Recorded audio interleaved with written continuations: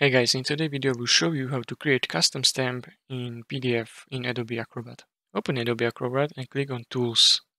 Select Add Stamps. Click on Custom Stamps and choose Create. Click on Browse to select the custom stamp.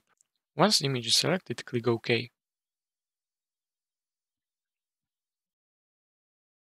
Choose Stamp category. Name the stamp and click OK to finish creating custom stamp.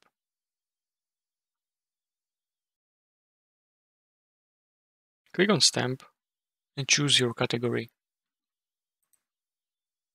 Choose Stamps. Pick the specific stamp you created.